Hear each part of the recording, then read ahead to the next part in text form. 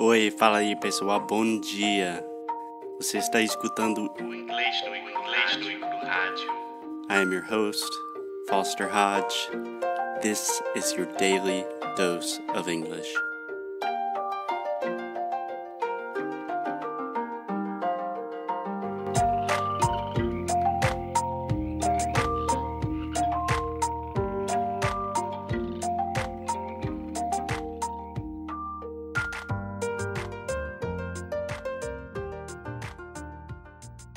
Hello, hello, hello, guys, and welcome to another episode of English no Rádio.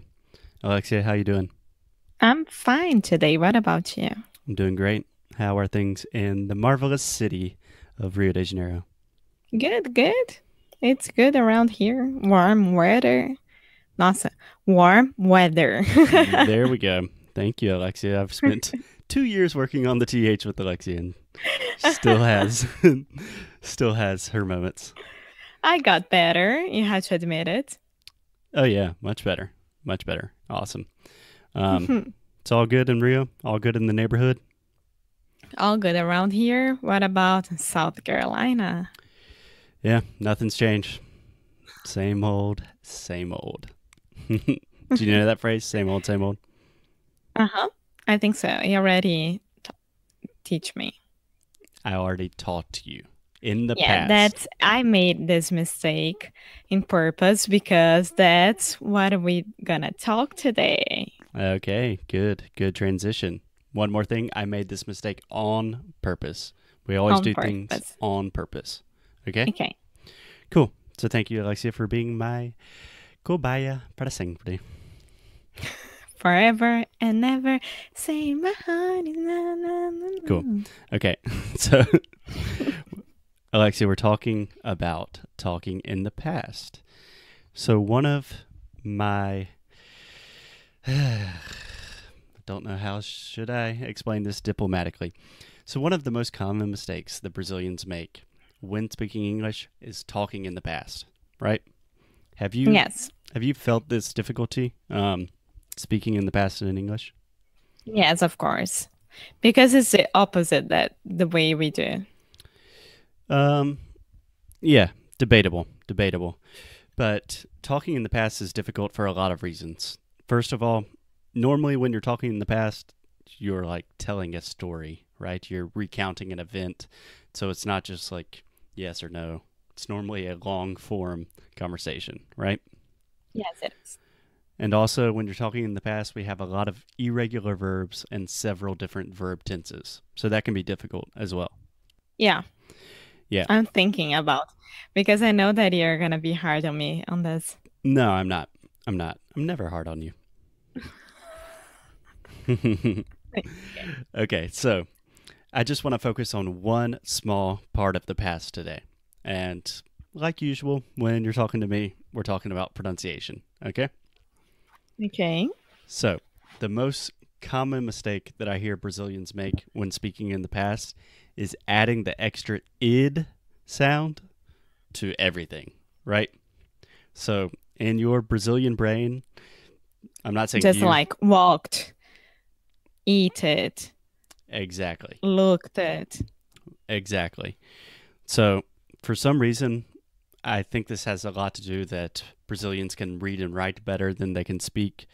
But when most Brazilians see the ed, automatically their brains think, "Oh, I need to say the id sound at the end," right? So just like you were saying, like walk id, talk id, when in reality it should just be walked, talked, right? Yes. Okay, Alexis, so let's try this. I will give you a verb in the present, and I want you to conjugate it in the past tense, just the simple past. Okay? Uh huh. Cool. So, Let's go. talk. Talked, Perfect. Walk. walked, Um, pick. picked, Nice. Move. moved, Push. pushed. Awesome. Awesome. Ah. So, Uh-huh. Did you notice some similarities with these words? Yeah, you always um finish the word and the word in uh, a common sound between them. Yeah, and what is that common sound? In walked. T. Yeah, the T sound. So the tendency of most Brazilians is to automatically see the ED and they want to say talk it, pick it, move it, I move it to the United States. But we just say the T sound. So you say the verb in its normal infinitive form and then add a T. So walked, talked, picked, moved, pushed. Okay? Okay. Okay. So I would say maybe 85% of the time when we're speaking in the past, you can just add a T sound. But there are some examples when we don't do that and we really add the extra id sound. Do you know when this happens, Alexia? No, I don't. Really. it's okay. It's okay. Um, Ah. there is an entire section in Sound School. but okay, so let me give you the example. Say decide in the past. Decided. Perfect. So there you're adding the extra ed, right? Yes. Okay, say pretend in the past. Pretended. Perfect. So let me give you the little hint, the little tip of the day. Is the only time that you add the extra ed sound is when the word ends with a T or a D sound. Okay? So think about that for a second. Does that make sense? The only time you add the extra id, the thing that most Brazilians want to add to everything, the only time we say that is when the last sound of the verb is a T or a D. Is that clear? Yes. Yes, it is. It's super clear.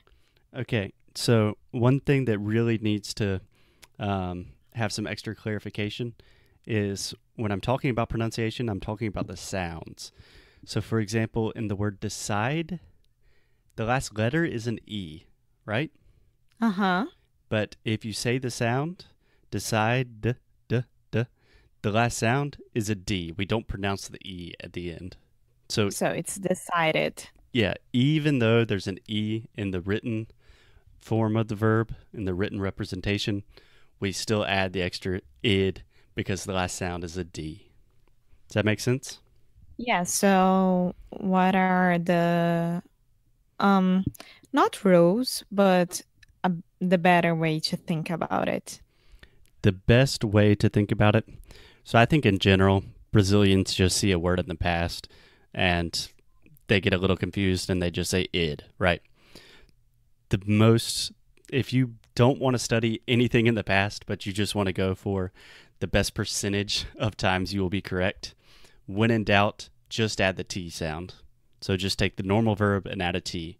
So instead of saying walked, just say walked, right? Uh huh. moved, uh, pushed. So, if you learned anything today, ladies and gentlemen, when in doubt, speaking in the past, just use the T sound. Does that make sense? yes, it makes it's really easy when you think about it. yeah, yeah, it's not that it's not that difficult. Um, certainly there are some exceptions and irregularities, but I think most people complicate the past um, a little too much. Yes, sure. Okay. I think we have a very good podcast about the past sound. I hope so.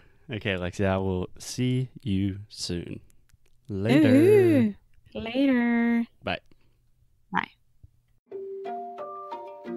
Thank you, thank you, thank you. Thank you so much for listening to another episode of English Nui Cru Rádio. If you like what we do, please check us out at inglesnuecru.com, inglesnuecru.com.